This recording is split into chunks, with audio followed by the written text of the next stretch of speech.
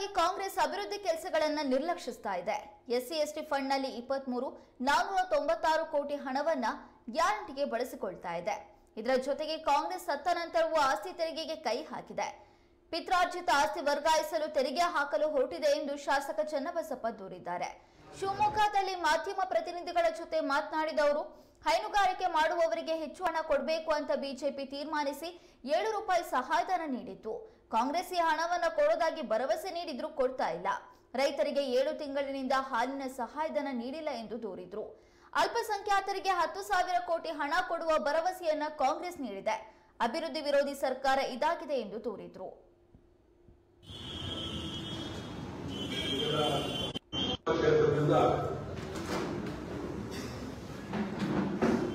ಅಭ್ಯರ್ಥಿಯಾಗಿರುವಂತಹ BJP ಅಭ್ಯರ್ಥಿ ರಾಘವೇಂದ್ರ ಅವರು ಗೆಲುವನ್ನು ಸಾಧಿಸಿ ಲೋಕಸಭೆಯಲ್ಲಿ ಪ್ರಮಾಣ ವಚನ ಸ್ವೀಕರಿಸುವ ಕಾಲ ಬರ್ತಾ ಇದೆ. ಸನ್ನಿಹಿತ ಗೆಲುವು ನಿಶ್ಚಿತ. ಹೀಗಿರದ ಈ ಸಂದರ್ಭದಲ್ಲಿ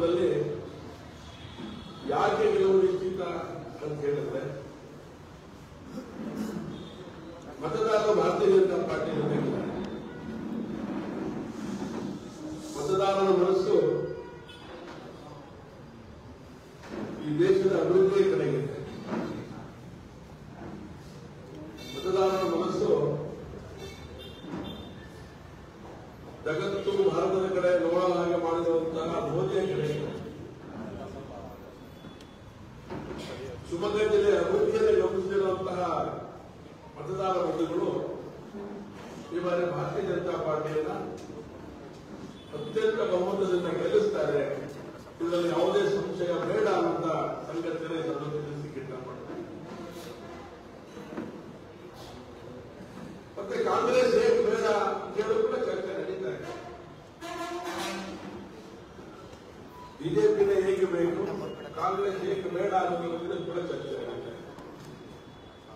ಹಿನ್ನೆಲೆಯಲ್ಲಿ ಯೋಚನೆ ಮಾಡ್ತಾ ಹೋದಾಗ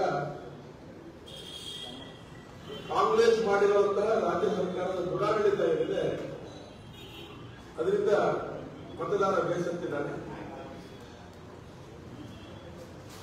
ಹಾಗಾಗಿ ಮತದಾರ ಬಿಜೆಪಿ ಜೊತೆ ಇದ್ದಾನೆ ಅನ್ನೋದನ್ನ ಮನೆ ಮನೆಗಳಿಗೆ ಹೋದಾಗ ಸಿಕ್ಕಂತ ನಮಗೆ ಸತ್ಯ ಸಂಗತಿ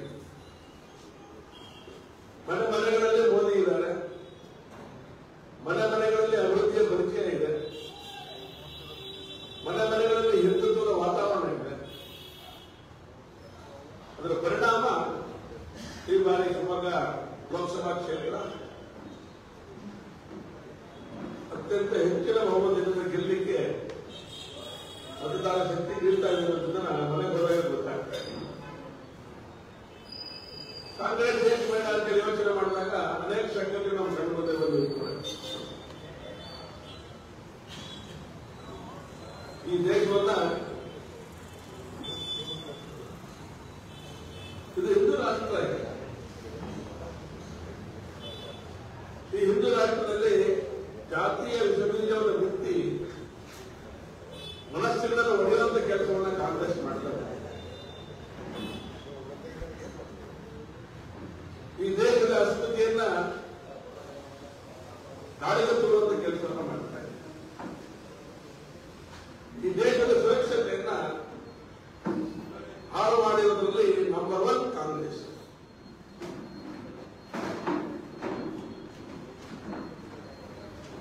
ಇದೆಲ್ಲದ ಪರಿಣಾಮವನ್ನು ಗಮನ ಇಟ್ಕೊಂಡಾಗ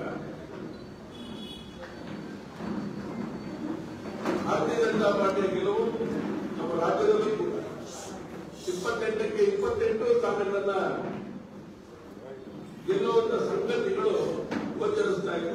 ಅದು ಸತ್ಯನೂ ಕೂಡ ಆಗತ್ತೆ.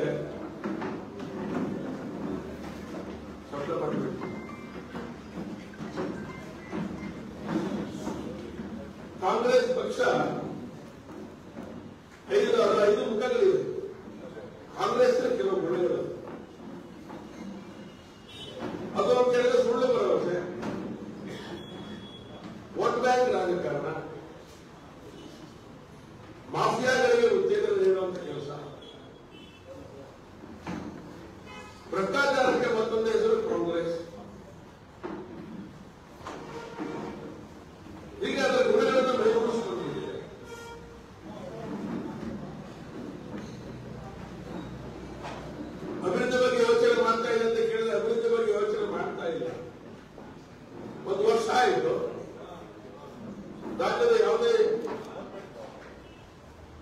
ಅನುಕೂಲ ಕ್ಷೇತ್ರಗಳಿಗೆ. ಅಭಿವೃದ್ಧಿಗೆ ಬೇಕಾಗಿರುವಂತಹ ಒಂದು ಯೋಜನೆಗಳನ್ನ ಯೋಜನೆಗಳನ್ನು ಕೂಡ ಕಾಂಗ್ರೆಸ್ ಸರ್ಕಾರ ಮಾಡಿಲ್ಲ. ಈಗ ತನ್ನ